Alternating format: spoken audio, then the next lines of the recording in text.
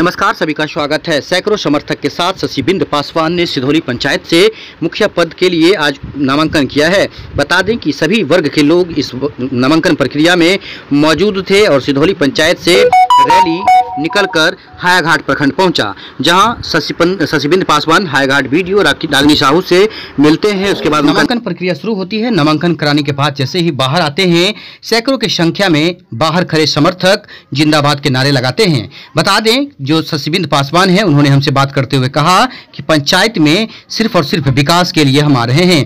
पिछले पाँच साल से हम एक्टिव हैं, लोगों का यहाँ पर सेवा कर रहे हैं और सभी धर्मों के लोगों का इज़्ज़त, सम्मान कैसे होना चाहिए, वो मुझे पता है क्योंकि मैं एक शिक्षित शिक्षित उम्मीदवार हूँ।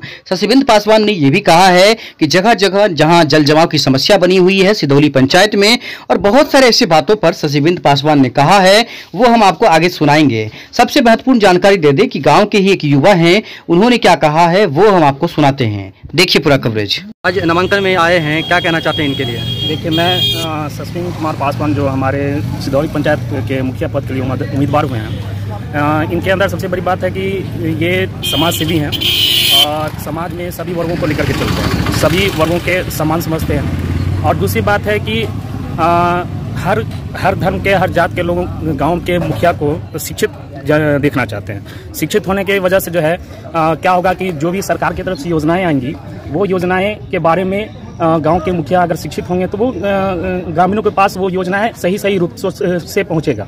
तो एक तो इनको कैंडिडेट हम लोग को मुखिया उम्मीदवार चुनने का ये शिक्षित सबसे बड़ा ये चीज़ रहा है। दूसरा बात ये रहा है कि समाज में इनकी छवि बहुत अच्छी रही है। ये समाज के सभी वर्गों को मिला करके चलते हैं और समाज में यही चाहते हैं कि मतलब किसी समाज में जैसे कि बहुत हमारे सिधौरी पंचायत पे एक बहुत विख्यात रहा है। सभी धर्मों के सभी वर्गों के उच्च कोटि के नीच कोटि के सभी धर्मों के लोग यहाँ पे रहते हैं। और सभी में समानताएँ हैं। न भी न, किसी धर्म की बात को लेकर के यहाँ पे अ, किसी तरह का पक्षपात होता है।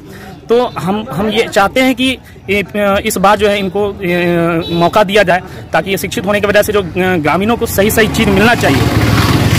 चाहे अभी जो हमारे मामले गाँव में हम लोगों के वार्ड में नाले की समस्या है। अगर ये समस्याएँ, अगर इससे पूर्व मैंने आवेदन भी किया था, लेकिन वो समस्याएँ मुखिया जी के अंतर्गत रहते हुए वो अभी भी डीएम कार्यालय में वो पड़ा हुआ है। हमको कहा गया कि आवेदन देने के लिए। लेकिन वो अभी तक हम लोग का जल निकासी की समस्या है। तो हम लोग चाहते हैं कि अगर शिक्षित आएँगे तो वो हम लोगों की प्रॉ- प्रॉब्लम को समझेंगे हम लोग की समस्याओं को समझेंगे और जो जल जमाव का प्रक्रिया है वो प्रक्रिया जो अच्छे से हो जाए ताकि हम लोग जो ये जल जमाव की स्थिति से जूझते हैं उससे हम हम लोग बाहर आ सके। क्या नाम है आपका पूरा? मेरा नाम मिनहाज आलम हुआ और ये हमारे पड़ोसी हैं और साथ में समाज सेवी है और मैं भी इस बार उम्मीदवार के रूप में खड़ा हूँ। मैं भी चाहता हूँ कि समाज की कुछ सेवा करूँ। अपने वार्ड नंबर में सदस्य के रूप में मैं खड़ा हुआ हूँ। और मैं भी चाहता हूँ कि समाज के लिए कुछ अच्छा करूँ। मैं भी शिक्षित हूँ ये भी शिक्षित है और हमारा ये एम रहना चाहिए कि समाज में जो भी पद हो वो एक शिक्षित उम्मीदवार के रूप में हो, ताकि सारी योजनाएँ के बारे में जानकारी मिल सके। कौन से वार्ड से हैं आप? आप मैं सिधौली पंचायत के अपने वार्ड वार्ड नंबर तीन से क्या सोच कर किया किस पंचायत से किए हैं?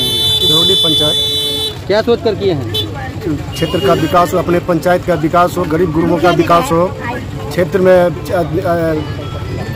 घोटा अति इंदिरा आवास में जो घोट- घोटाला सब है उसको सुधार करना पंचायती राज व्यवस्था को ठीक से चालू करना। कुछ अ, चर चर सब में जो पानी लगता है उस पानी का निकासी के लिए कि, कि हज़ारों हेक्टर भूमि में जो पानी लगा हुआ है वो सिंचित हो सके भूमि इसके लिए भी प्रयास है। गरीबों का कल्याण हो। गरीबों का कल्याण हो। में टूटा सड़क कच्चे सड़क को पक्कीकरण करना लाइब्रेरी का निर्माण करना स्टूडेंट के लिए। और सही व्यक्ति का लाभ मिल सके ये मेरा योजना है। पंचायत में सभी समाज सभी वर्गों के लो, लोगों को लेकर चलना मेरा प्रथम प, अ, अभियान है। और गरीब गुरुओं पे वृद्धा पेंशन योजना गरीब गुरुओं को सही मान सम्मान देना और सभी वर्गों का सम्मान देना और